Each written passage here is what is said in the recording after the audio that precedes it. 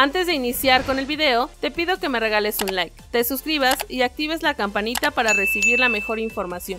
¡Comenzamos! Así será la actividad de los ecuatorianos santistas en Qatar 2022. Dos jugadores de Santos Laguna fueron convocados para participar en el Mundial de Qatar 2022. Se trata de los ecuatorianos, Félix Torres y Ayrton Preciado, ambos elementos claves en el desempeño del equipo de la comarca lagunera. El estratega Gustavo Alfaro dio a conocer la lista de 26 elementos que representarán a la selección nacional de Ecuador en la próxima justa mundialista, que dará inicio este 20 de noviembre, justamente con el compromiso entre la TRI y el anfitrión Qatar. Cabe destacar que ambos jugadores han sido constantes en el proceso del conjunto ecuatoriano, tanto en eliminatorias sudamericanas como en Copa América. Posterior al partido inaugural del máximo torneo de selecciones en el mundo, Ecuador enfrentará a Países Bajos el 25 de noviembre y a Senegal el día 29 de noviembre. Félix Torres, defensor de 25 años, arribó a Santos Laguna de cara al torneo Apertura 2019 y desde entonces ha jugado un total de 89 partidos de Liga MX. Ayrton Preciado, extremo de 28 años, destacó con Ecuador en la Copa América 2021 la que participó en cuatro encuentros y colaboró con dos anotaciones. La selección nacional de Ecuador quedó ubicada en el grupo A junto a Qatar, Países Bajos y Senegal. Por otro lado, los guerreros del Santos Laguna reportan a la pretemporada el próximo martes 22 de diciembre en las instalaciones del territorio Santos Modelo. El equipo lagunero no contará con los futbolistas ecuatorianos debido a su participación en la Copa del Mundo de Qatar. Sin embargo, el resto de los jugadores deberán reportar para iniciar con los trabajos de cara al próximo torneo, en el cual buscarán emular lo hecho en temporada regular para después tratar de pelear